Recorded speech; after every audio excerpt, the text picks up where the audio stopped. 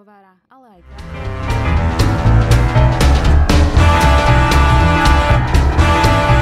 Tak je v názve kryštálova, tak je to kryštálovo čistá myšlienka v tom, že pomôcť naozaj deťom a ľuďom, ktorí e, potrebujú pomoc, sú na to odkázaní.